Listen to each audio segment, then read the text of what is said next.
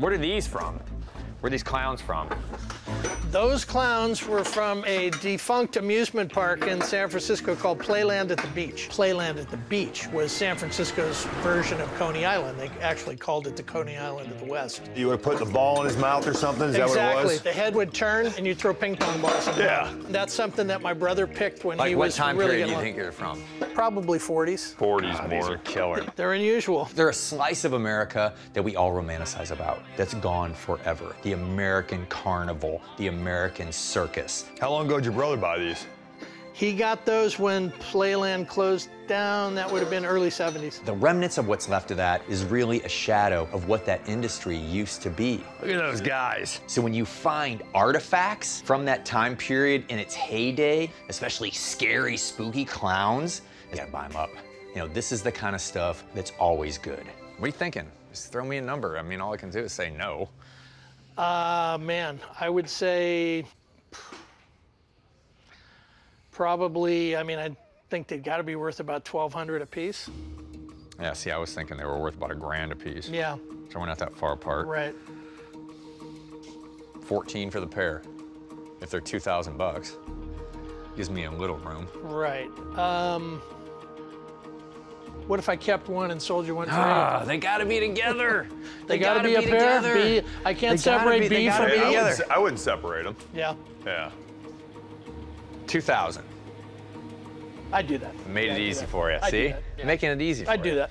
I got it. I got it. These things are Yeah. nuts. With all the things I already have in my house, there was really just no place for them. I think they're better off in somebody's collection that can really appreciate items like that. All right, there's the little man himself right There there. he is. When I first see this piece across the room, I'm looking at like a deranged Johnny Roventini because it's got a bellhop uniform on. Can we pull him out? Yeah, But as you get closer, and if you know what you're looking at, then you know it's a brownie. It's a Palmer Cox brownie. Brownies were characters in children's books.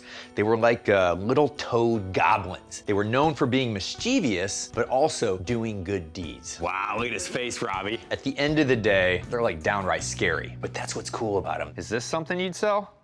That I would sell. My mom bought that in late 60s. There's a place in San Francisco called the Cliff House, which has been there since the 1800s. And at one point, they had a collection of these tall brownie figures. Mine was made by a company named Schoenhut, Look at him. He's anatomically correct. He's got Look at knees. his little legs. and they made large brownies for storefronts. Extremely rare.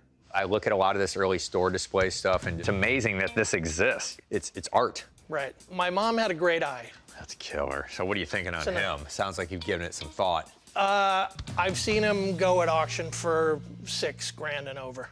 Wow, but that, so if They're at six super- grand, are you talking super like. Super clean, super perfect. Yeah. Well, all he's he's pretty much there. He's dirty, but No, I uh, know there's that. not much wrong with him. Well, his clothing's definitely faded tremendously. Yeah, yeah. If you look at the this, just even the discoloration Right. here and then the top of it, you know, I'm just saying that if something's going to warrant that kind of money, It's going to be pretty damn nice. And what year is it from? From what I can see, it looks like turn of the century, Mm-hmm. late 1800s. You know, I think he's at least three grand or so.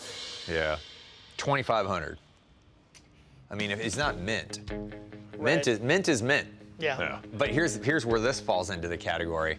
Good stuff's always good. Right. This is good stuff. So what's the bottom number on this? You know, I, I like I said, I think a bottom number really is three on this. All right, well, But Make I'll- me feel like I'm getting a good deal. 2,900. you got it. all right. There you go. Okay, man. This wasn't made for the consumer. This was made for display. The fact that it still exists, it's such a large size and it's in great condition, all of those things make it extremely rare. It's brilliant. it's like a day-to-day treasure hunt. I'm out there looking for rusty gold. I'm looking for the unusual and impossible. It's back roads, it's dumpster diving, it's flea markets, it's people's homes.